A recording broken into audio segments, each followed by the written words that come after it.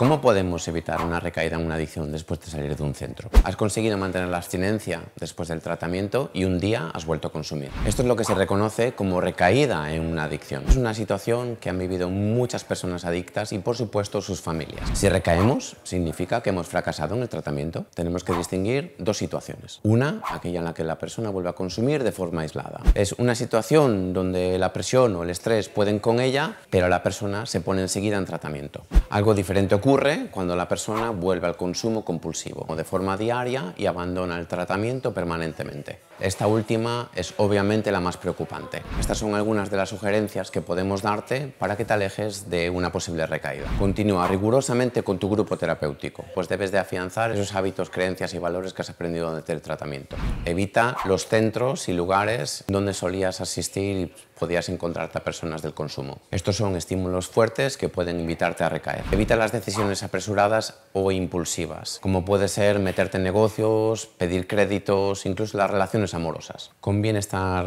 bien entrenado o entrenada para evitar contingencias antes de hacer todo esto. Cuando vivas una situación crítica, comunícate directamente con tu grupo terapéutico. Tu terapeuta, así como tus amigos de grupo, pueden echarte un gran importante cable en estos momentos. Es importante que sigas aprendiendo cómo gestionar tus emociones para que sepas cómo gestionar esos momentos difíciles que aboga Sigue pautas de vida saludable. Come bien, duerme bien, evita los conflictos, realiza ejercicio físico, actividades de ocio sanas, creativas, que no pasen obviamente por el consumo. Fíjate tan solo objetivos a corto y a medio plazo. Aprende habilidades sociales para gestionar todos esos problemas que te conlleva la vida. Y sobre todo, entrena una actitud vital positiva